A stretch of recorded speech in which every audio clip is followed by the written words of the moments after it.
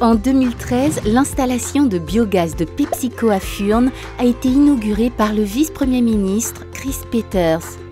Cette installation de biogaz traite environ 7500 tonnes de déchets par an. À une température de 55 degrés Celsius, les bactéries transforment les déchets, par exemple épluchures de pommes de terre, fécules, déchets de chips cuits et snacks, bout d'épuration des eaux, en biogaz. Celui-ci alimente deux moteurs chargés de produire de l'électricité. Grâce à cette installation de biogaz, PepsiCo produit chaque année 5400 MWh d'électricité verte à partir de déchets végétaux, ce qui correspond à la consommation d'électricité annuelle de 1400 ménages et permet ainsi de couvrir 25% des besoins en électricité du site de Furnes l'installation de biogaz a permis à PepsiCo à Furnes de réduire sa consommation d'électricité et sa consommation de gaz par kilo produit avec respectivement 30% et 15%.